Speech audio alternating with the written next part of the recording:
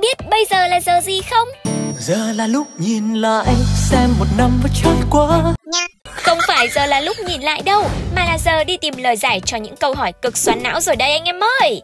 Mà xoắn não không phải bình thường như mọi ngày Có thể coi là những thứ lạ nhất, mới nhất Mà 3 năm qua nhanh trí làm kênh chưa từng nhắc đến.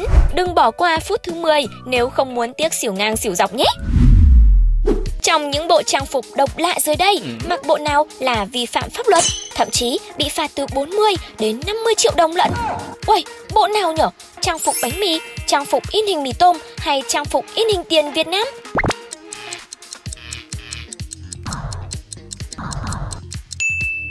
Nè nè nè, dừng lại ngay. Ở Việt Nam, nếu bạn mặc trang phục in hình tiền là toàn ngay đó nha. Theo luật nước mình, tuyệt đối không được sao chép tiền cho bất kỳ mục đích nào mà không có sự chấp thuận từ ngân hàng nhà nước bằng văn bản.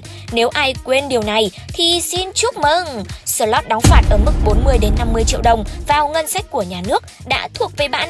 Còn nếu tổ chức vi phạm điều này thì cứ nhân đôi số tiền phạt luôn nhé, để lần sau nhớ lâu hơn. Ủa, thế nếu in hình tiền lên các đồ vật khác như ví, móc khóa hay lì xì có bị làm sao không anh em nhỉ?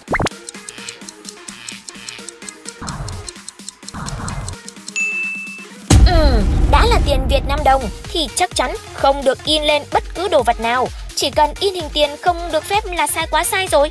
In sang đồ vật khác cũng không thể lách luật được đâu. Thế nên thay vì dại dột thử những trò mạo hiểm như thế này, tốt hơn là chúng ta nên chuyển sang câu hỏi tiếp theo để học thêm điều hữu ích cho năm học mới thì hơn. Bước vào năm học 2024-2025 rồi đấy. Có bạn nào đang xem nhanh trí mà 16 tuổi rồi không? Khi đủ 16 tuổi, bạn sẽ được lái xe gì khi đi học nhỉ? Uhm, có khi nào là xe phân khối lớn không nhỉ? Xe SH ư? Hay là xe 50cc, kiểu xe cúp ý?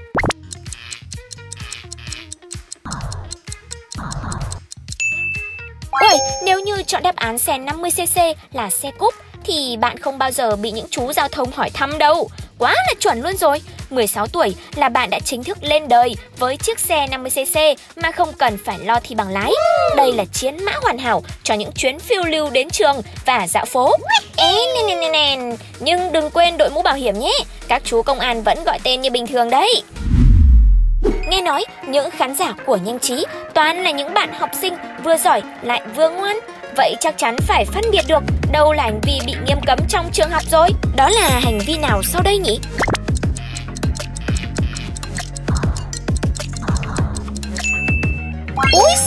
Chỉ cần 0,1 giây để các bạn trả lời đúng không?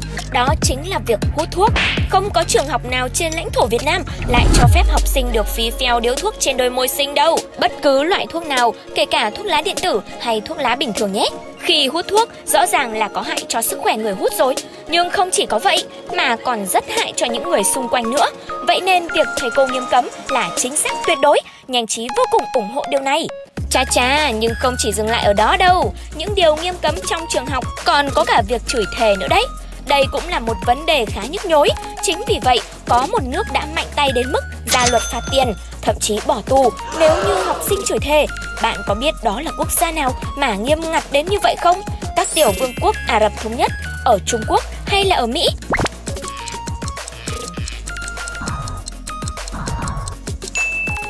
Ôi trời, những thanh niên báo hẳn là không muốn sống ở đất nước này đâu.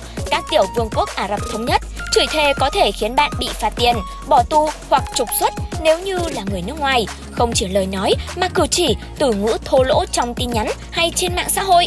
Thậm chí, biểu tượng cảm xúc không phù hợp cũng bị coi là vi phạm vì làm tổn hại đến danh dự người khác. Ấy chà chà, ghê chưa ghê chưa? Ôi dồi ôi, ở đây đúng là quốc gia không thân thiện với những chiếc mỏ hỗn rồi. Thứ sáu là một thử thách dành cho những nhân tài địa lý ẩn giật. Bởi vì sao? Bởi vì câu hỏi này dễ gây nhầm lẫn nhất mọi thời đại các bạn ơi. Ấn Độ nằm ở châu lục nào? Châu Á, châu Âu hay là châu Phi?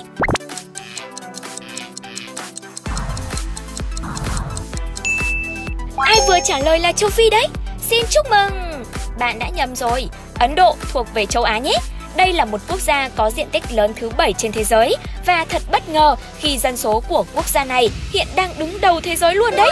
Wow, tuy đông đúc là thế nhưng ở Ấn Độ thường được mọi người trên thế giới gọi là một vương quốc riêng hay một tiểu thế giới riêng bởi vì ở đây có những tục lệ vô cùng kỳ lạ. Người dân Ấn Độ đồng lòng không ăn thịt của con vật nào mà ở Việt Nam chúng ta lại ăn như bình thường, thậm chí lại coi là ngon, thịt gà, thịt cừu hay là thịt bò.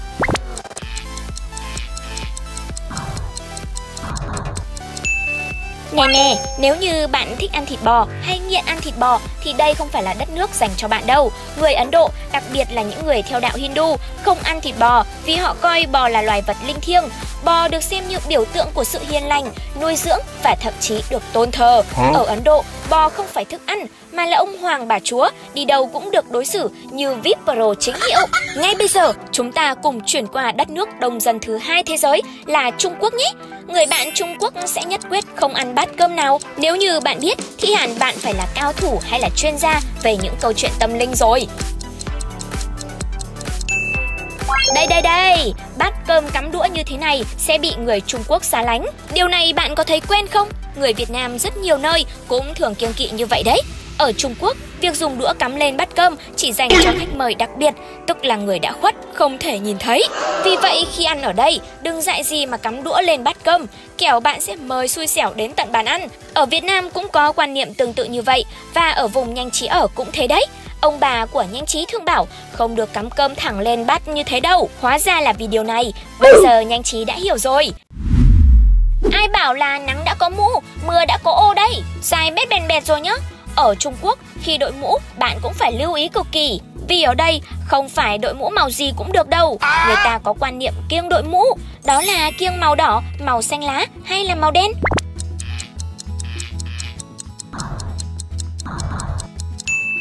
Ây gu ây gu. Màu xanh lá đúng là cái màu bị xa lánh mà theo người Trung Quốc, nếu đội mũ xanh lá có nghĩa là là bị cắm sừng nên họ rất kiêng màu này. Việc tặng mũ cũng bị xem là cấm kỵ vì trong tang lễ mọi người mặc áo trắng và đội mũ chóp nhọn.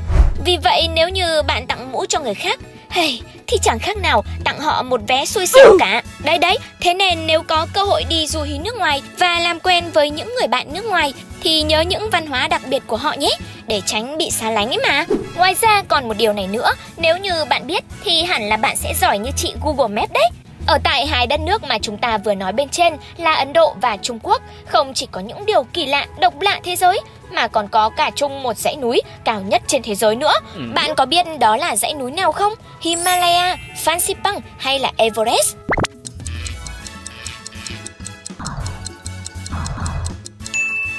Các bạn nhớ, đó là dãy núi chứ không phải đỉnh núi đâu nhé. Dãy núi Himalaya hiện đang giữ kỷ lục là dãy núi cao nhất trái đất, là nơi của 14 đỉnh núi cao nhất trên thế giới, các đỉnh cao trên 8.000 mét, bao gồm cả đỉnh Everest. Dãy núi này nằm ở địa phận của nhiều quốc gia, trong đó có hai ông lớn châu Á là Trung Quốc và Ấn Độ. Đây cũng là một dãy núi đầy bí ẩn và nguy hiểm, rất rất ít người dám mạo hiểm để chinh phục dãy núi cũng như đỉnh núi cao nhất Everest ở đây. Tuy thế, đất nước Việt Nam nhỏ bé chúng ta cũng đã có những anh chị vô cùng dũng cảm, dám mạo hiểm để chinh phục đỉnh núi Everest và cắm lá cờ Tổ quốc vinh quang trên đỉnh ngọn núi này, khiến nhanh trí khi nghe đến mà cảm thấy tự hào nổi da gà. Quả thực là một người Việt Nam nhỏ bé nhưng vô cùng kiên cường. Bạn thì chưa cần đến mức đó đâu, chỉ cần kiên cường, ngồi lên máy bay cùng nhanh trí và chu du đến những vùng đất thú vị khác thôi. Trong hai lá cờ quốc kỳ sau đây, đâu là cờ của Anh Quốc nhỉ?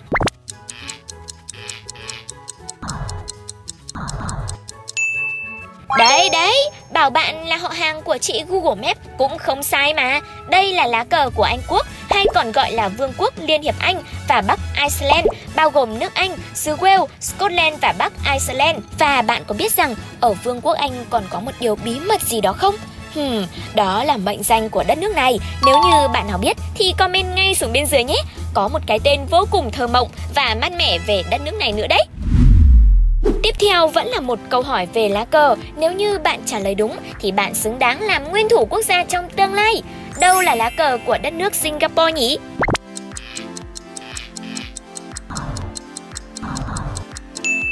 Trời trời, ai mà nhận ra lá cờ của Singapore thì đúng là tầm hiểu biết ở mức thượng thừa rồi.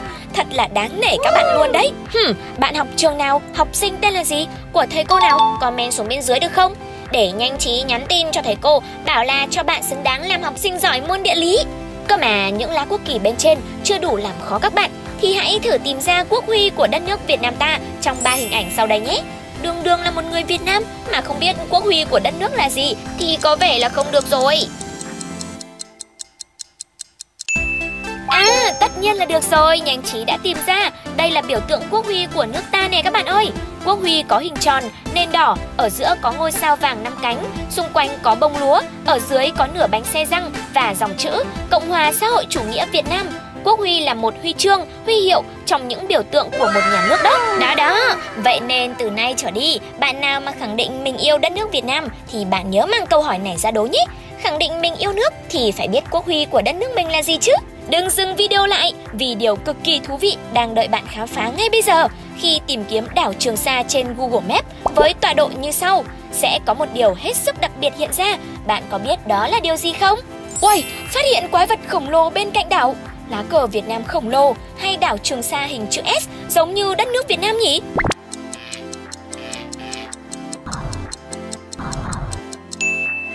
Có lẽ bạn đã biết điều này hoặc là chưa biết đâu. Đó là một lá cờ siêu to khổng lồ ở trên nóc của một tòa nhà ở trên đảo Trường Sa vô cùng nổi bật.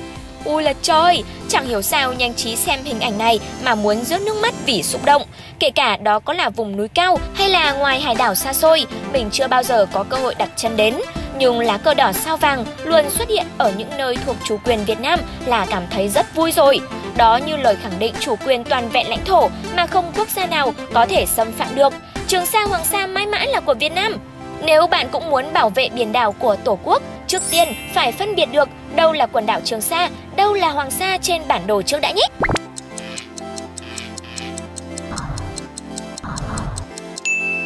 Lúc nào mình cũng khẳng định Trường Sa và Hoàng Sa là của Việt Nam, nhưng vị trí trên bản đồ thì bạn đã biết điều này chưa nhỉ?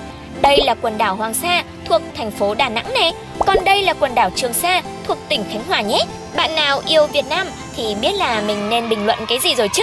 Hi, Các bạn có thể comment đó cả một bầu trời của nhanh trí để khẳng định cho cả thế giới biết được đây là hai quần đảo của Việt Nam chứ không phải của ai kia đâu. Kế đến là một hành vi bị nghiêm cấm trên toàn lãnh thổ của Việt Nam là người Việt Nam. Bạn có biết điều này? Cấm xúc phạm hình ảnh Bác Hồ hay cấm xúc phạm hình ảnh lá cờ của Việt Nam?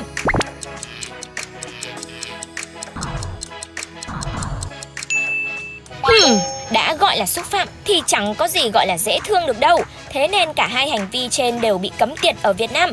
Ai mà liều thử thì cứ chuẩn bị tinh thần nhận combo phạt nặng liền tay đi nhé. Không chỉ dừng lại ở việc phạt tiền hành chính mà còn có thể bị phạt tù như bình thường đấy. Nếu như bạn phát hiện ai có hành vi xâm phạm như thế thì nhớ báo các chú công an nhé. Câu hỏi tiếp theo, linh vật nào là biểu tượng văn hóa của Việt Nam? Sư tử, rồng hay là nghê?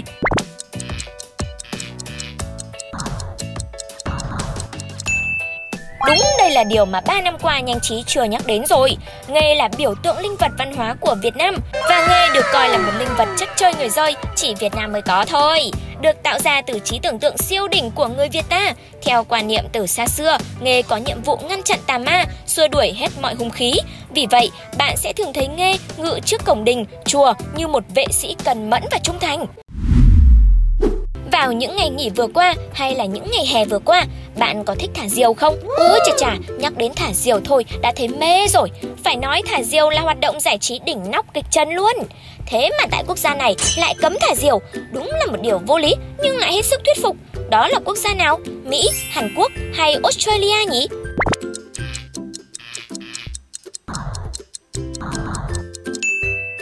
Ồ, buồn thật đấy, Tại Australia, cụ thể là phía đông nam của bang Victoria, người ta cấm việc thả diều ở nơi công cộng để tránh làm phiền đến người khác. Ồ, vậy sao? Thế mới thấy sống ở đất nước Việt Nam ta vẫn độc lập tự do hạnh phúc và thoải mái hơn rất nhiều đúng không nào? Thêm một sự thật nữa có thể khiến bạn choáng váng, thậm chí ngồi ghế còn bị lung lay chứ. Trong ba quốc gia sau đây, có một quốc gia mà chiều rộng còn lớn hơn cả mặt trăng nữa cơ. Ôi trời ơi, đó là quốc gia nào trên thế giới mà khủng khiếp đến như vậy nhỉ? Cái gì vậy? Lại một lần nữa, cái tên Australia được gọi tên. Quốc gia này có chiều rộng gần 4.000 km. trong khi chiều rộng của mặt trăng là 3.476 km mà thôi. Thế nhưng xét về chiều rộng thì lớn hơn là thế, nhưng xét về diện tích thì mặt trăng lại hơn Australia rất nhiều lần. Vậy còn nhà bạn thì sao? Đất nhà bạn có rộng hơn nhà hàng xóm không? Nhớ hỏi ông bà cha mẹ của mình coi sao nhé!